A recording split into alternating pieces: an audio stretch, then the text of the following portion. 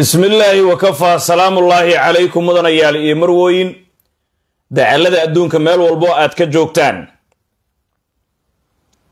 Sheegadee sheegadee dadka qaar way necab yihiin.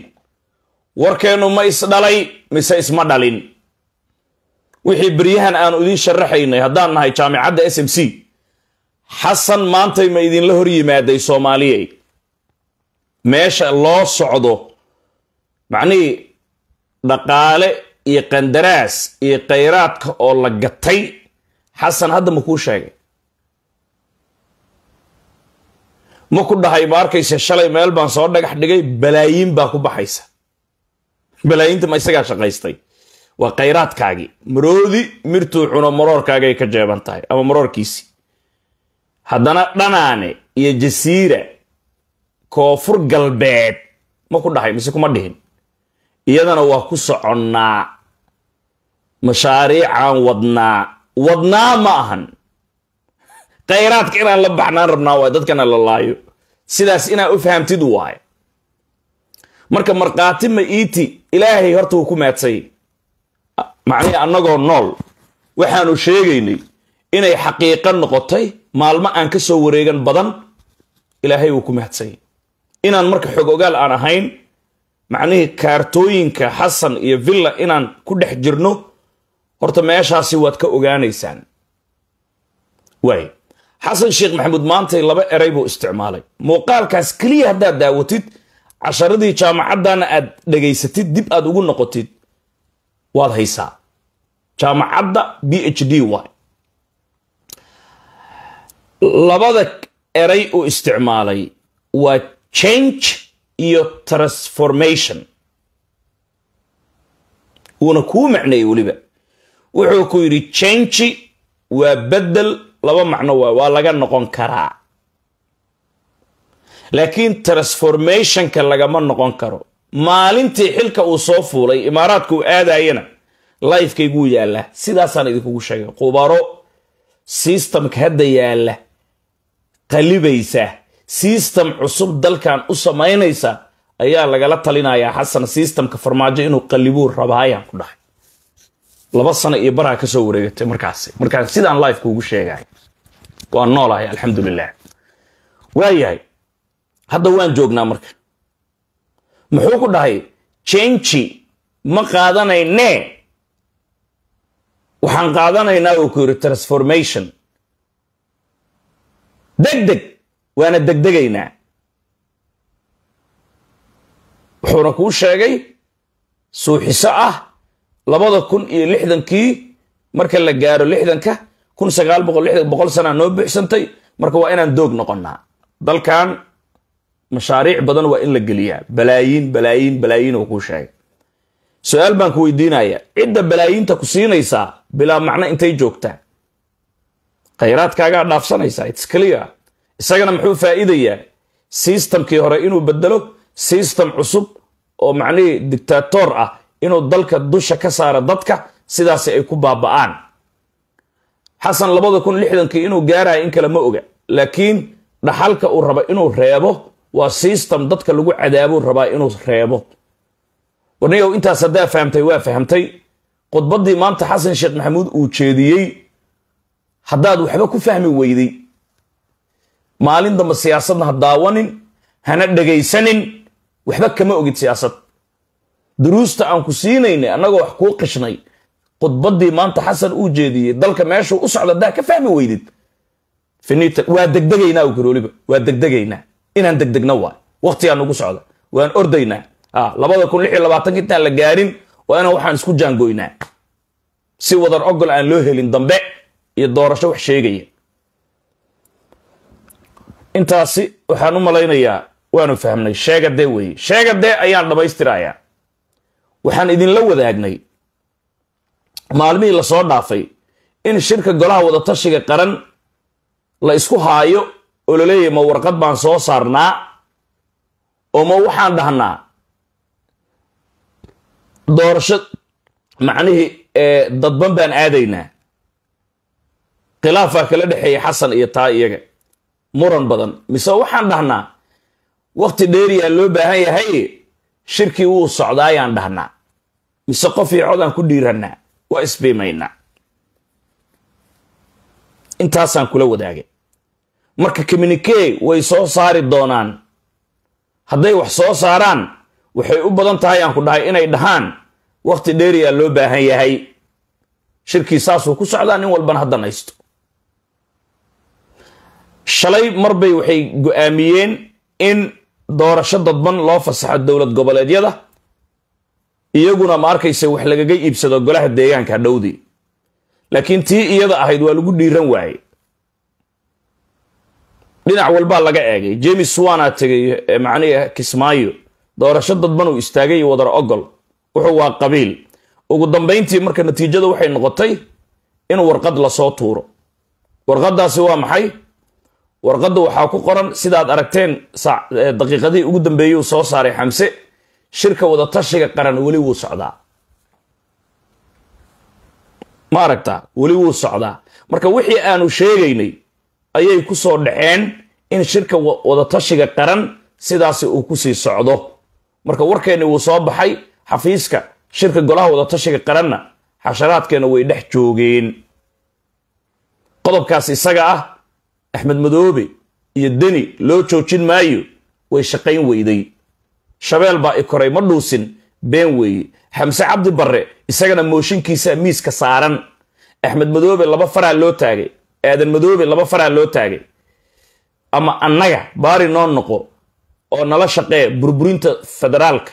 Ama ma arkayse sheekh shariif sida ay dhaheen waay shariif biijo koofi dhub ku daba safo isku si baan kuu dilaynaa aadan madoobe isagana wuxuu yidhi way noo taallaa xasanow haddii xamse la aaridi weysid iyo xukuumaddiisii adigaa dhacaya. Xisaabta meeshaasay u joogtaa cabdi xaashiya aadan madoobana isku garab bay noqdeen. Ninka isaaq ee habar awal iyaguna isku dhinac weeye inahaasi markay kuu joogto sir baan ku siinayaa afgooye iyo sida xaalkeeda milatariga uu yahay. Degmada afgooye gobolka shabeellada hoose saacadaha soo aadan waxaa loo soo wataa ciidamo. Taliska laanta buuro fadhiya ururka siddeed iyo tobnaad horinta taliska waxaa la geliyey heegan dhammaystiran. Nin ay dhahaan liibaan dhamaaq ama liibaan goobaanle oo cayr ah ayaa taliya ka ah sidoo kale wardhiigley daraawiishta xamar deggan iyagana sagaal gaari ayaa la diyaariyey oo la doonayo kuwo buliis ah iyo iyagu in la isku soo jarjaro degmada afgooye saacadaha soo aadan caawaba u badi ama xilliga dambe in lagu soo daadiyo. Waxaa kaleetoo jira soddon iyo shan oo ilaalo qaran ah iyo soddon iyo shan askari oo danab ah wadarta guud marka la isu geeyo toddobaatan askari ayaa laga soo qaadayaa halka loo yaqaano balidoogle ciidamada danab oo ayaan dhoweyd xasan sheekh maxamuud qabiilkiisii cali gaaf tababarka uu u soo xiray dallacaadana u dhiibay waa la soo qaadayaa saacada gudahooda. Laga yaabo lifeka intaan ku jira in la soo qaado. Waxaa lagu soo qaadi doonaa diyaarad helikobter ah. Waxaa la keeni doonaa magaalada muqdisho. Marka magaalada muqdisho la keeno gawaadhida diyaarsan oo hadda macnihii shidaalka lagu shubay amarkana la siiyey inay macnihii dhaqaaqaan ayaa lala sugayaa. Baabuurtaasaa la saari doonaa waxaa weeye afgooye ayay dhagaha ka tumi doonaan. Waa lagu daadin doonaa. Cawada haddaan lagu yacni caawa maqhribka haddaan lagu daadin saq dhexe ama aroortii way dul joogaan. Haddii muuqaalkeena aanu fashilinin amarka la dhiibay ee talisyada maxaa afgooye macnihii ciidanka loogu soo shubayaa sheekadeedu way dheer tahay. Waana kuu gelayaa waa ku qasbanaya inaan sheekadeeda kuu dhammaystiro. Daraad wiilashii lagu dilaayay degmada afgooye oo macnihii la gumaadayay sheekadu way dhaadheer tahay. Raggaasi ninka la yidhaahdo taliya anwar wuxuu abaabulayay ciidamo deegaanka ah in ay isxoreeyaan. oo macnihii isbaaro aan loo dhiganin shabaabkana ninkaasi naftu u keenay. Siddeetan saraakiil oo shabaab ee isugu jiro dable iyo macnihii saraakiil amiire shabaab ah ayuu gacanta ku dhigay afgooye muddada uu joogo sanadka ah. Taasi waxaa ka carooday nimay dhahaan nuur xayir oo ah wiilka xasan sheekh maxamuud oo u dhashay reer jalaf nuur xayirna inta checkpointi ee isbaaro taalla degmada afgooye dhaqaalaha isagaa ka qaata. Afgooye lacagta laga qaado ee xaaraanta ah. Nuur xayir maanta haddaad boqol kun oo dollar macnihii inuu ku siiyo waxba lama ahan. Isagoo macnihii hal dollar ku siinaayo oo kale waay dhammaan siyaasiyiinta hawiye ee fadhiya magaalada muqdisho hoteelada macnihii lacagaha la dhuuqayo buruufyada lagu gadaayo nolosha dhoofka tikidhada afgooyaa laga gooyaa. Ninkaasi waa ambaashatoorka siyaasiyiinta hawiye u fadhiya dhammaantood iyo ganacsatadana way taageerayaan. Afgooye horta waa meel la haysto. Aan kuu soo koobo ninkaasay isku dhaceen. Cabdiqani boolimoog nimay dhihi nimay dhihi jireen. Cabdiqaadir boolimoog maa la yidhaha cabdiqani boolimoog markii meesha laga saaray oo si xun uula dagaalamay isbaaraystayaasha oo macnihii dhulkan dhaca iyo dilka ka wada waxaa weeye nin kalea lagu bedelay soo maa ninkii waa la siibay. Haddana wuxuu noqday ma arkayse ninkan anwar. Anwar marka xaniyaa laga arkay. Toddobaatan askari buu qoray. Ma arkayse diyaarsaday wuxuu doonayey in uu dhegaha ka tumo dadka galmudug ka soo duulay ee dhulkan isbaarada u yimaaday dhaca iyo kufsiga boobka inuu baabi'iyo taasaa keentay in ma arkayse bahasha nuur xayir uu isku xiro xasan sheekh maxamuud la gaarsiiyo la gaarsiiyo korneel maslax ma arkayse macawisleyda iyo qashinka qabiilka ninka madaxda u ah iyo ma arkayse macnihii warbac la soo amro taliya ku-xigeenka sirdoonka federaalka soomaaliyeed ee sambalolshe taliyaha sirdoonka ajanabi la soo adeegsado la sawiro ma arkayse ma arkayse la laayo. Sheekada markay xumaatona la yidhaahdo hadda macnihii marxuum qaldaan. Howlgal aan ku qaldoonnay waa. Nimankan waxay diyaarinayeen la weeraray afgooye inay gacanta ku dhigaan. Nidaamka dawliga toosa uga shaqeeyo dhaca isbaarada ay joogsato. Waa la soo afjarayba inta aysan madaxa soo qaadin. Ka hortag bay ahayd protection. Allaari marka kacdoon baa hadda jira. Nimankii meydadkii waa la soo qaaday maanta lagu aasay degmada afgooye anwar iyo saraakiishii waa la soo qaaday farinjeerka waa laga soo saaray waa la aasay wadgana haban maxaa dhici kara?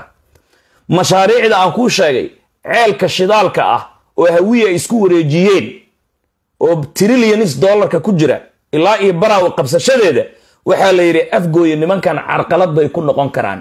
Waa in la afjaraa. Nimankan marka waxay isu diyaarinayeen in dhulkooda aan la boobin ma arkaysa isbaarada ay iska dulqaadaan. Haddii nimankan aan la afjarin hawl baa noo taallo waay marka. Baashan way weynaanaysaa horta nimankan sidaasaa loo laayay hubka sidaasaa loo qaatay dadka dhaawaca sidaasaa loo kaxaystay sidaasaa loo afjaray. Kacdoon baa marka laga baqaayaa ciidankan caawa la soo wadaa kacdoon daran baa afgooya laga baqaayaa kaasoo isku xiri kara ilaa iyo baydhabo iyo bakool ilaa iyo gedo. Alraxweyniya sidii baraawa hadda ka hor ka dhacday oo kale nimankan marka waxay doonayeen sidii wallaweyn oo kale kacdoonkii wallaweyn inay sameeyaan. Bugta ay yeerto dambaabiirta ay duusho laga waayo nin hawiye qori wata. Nimankan haddii meeshaasi laga dego hawiye ma jiri karo. Maxaa yeelay meesha uu ku nool yahay xaabada geedihii uu cadaabay uu gubay. Ma arkayse siimankii baabuurtii hawiye oo dhan masaakiin bay noqonayaan. Wax sheegta raxweyn iyo dekada baraawe iyo marka waxay macnihii u xiran yihiin afgooye daraaddeed haddii afgooye ay degaan digil aw mirifle dekadahaasi orod bay ku furmayaan dekada xamarna cari carbeedka iyo baxkafiif ayaa isku warsanaya daynow way garanayaan. Marka afgooye kacdoonka ka jira ha laga hortago waa. Danaheenna hadda xasan sheekh maxamuud wuxuu ku yiri jasiira iyo dhanaane dhulkaasoo dhan waxaan rabnaa inaan maal gashanno. Ma isagaa iskale ma dhul hawiyaa? Waa maya. Already shidaalkaa loo socdaa khayraadkaa loo socdaa dekadahan inay furmaana la diidayaa waxaasoo dhan kuwaanaa ka hortegi karaa horta dadkan loo afjaray. Maantay marka dagaal baa ka dhacay degmada afgooye. Afgooye biimaal baa wuxuu yidhi nimayahow magaalada ama annagaa xoraysanayna ama xoraysta. Waxay dhaheen hubkeeni waana la dhacay rasaas ma haysano iyo hub laba baabuur oo hub iyo rasaasaa loo keenay. Hadda aan kula hadlahay geladiga rasaas maxay ku bilaabatay? Wiilashii oo ma arkayse taliyaashii sirdoonka. Macnihii mootooyinkoodii waday fecon. Mootooyinkoodii. Nimankii la dilay mootooyinkoodii ayaaba la bilaabay in cashuurkeena la dhaho. Anwarka walaalkiisii mooto uu wato ayaa buundada lagu qabsaday. Liifaa lagu garaacay maanta